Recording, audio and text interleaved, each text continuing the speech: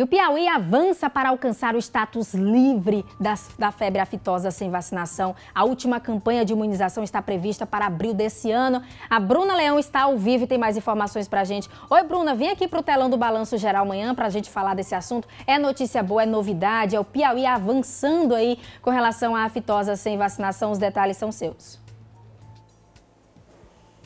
É isso mesmo, Trace. Bom dia a você, bom dia a quem está em casa.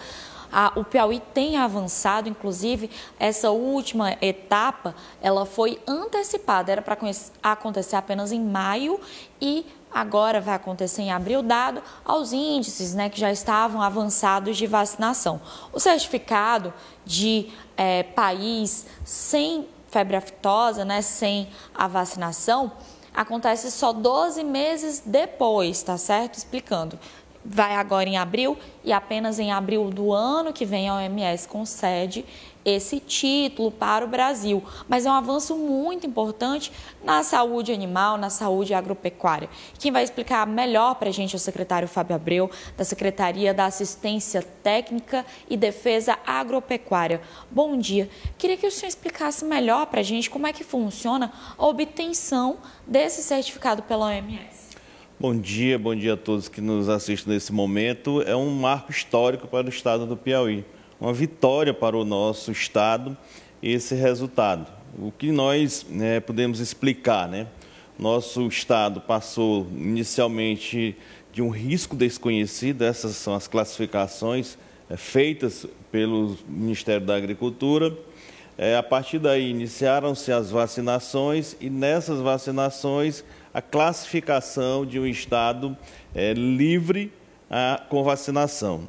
E esse último, essa última classificação que nós almejamos tanto, que é livre sem vacinação, nós obtivemos esse sinal verde do Ministério da Agricultura para antecipar a vacinação, que realmente seria em maio, mas como existe um prazo de 12 meses para que a OMS possa emitir esse certificado, e esses 12 meses não poderia ser após maio, nós estamos antecipando, e aí o Maranhão, o Tocantins, é, entram nessa mesma, é, outros estados, né, autorização para antecipação, para que nós possamos ser encaminhados os nossos resultados para a OMS animal e nós termos esse certificado de um estado livre sem a vacinação. Mas é importante ressaltar alguns pontos. Primeiro, é a partir do mês 1 de maio, é por isso que essa data do mês de abril ela vai ser improrrogável. Nós vamos pedir muita compreensão dos nossos é, pecuaristas para que realmente vacinem os seus animais nos 30 dias de campanha, porque não é prorrogável.